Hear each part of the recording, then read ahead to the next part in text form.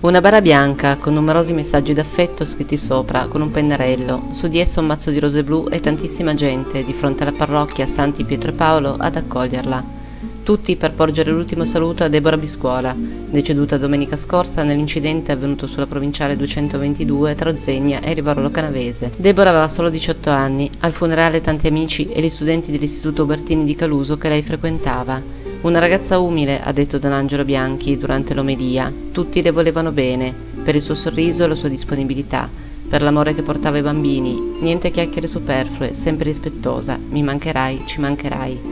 Una morte improvvisa, un momento difficile per i familiari e amici.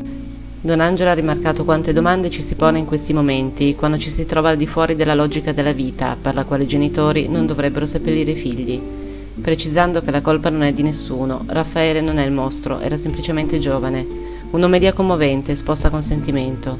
All'uscita del feretro gli amici hanno lanciato sulla bara una pioggia di petali di rose bianche e lasciato andare i palloncini bianchi e rosa, in alto nel cielo mentre nell'aria riecheggiava la musica di Eros Ramazzotti e il lungo corteo accompagnava la bara di Deborah al cimitero cittadino.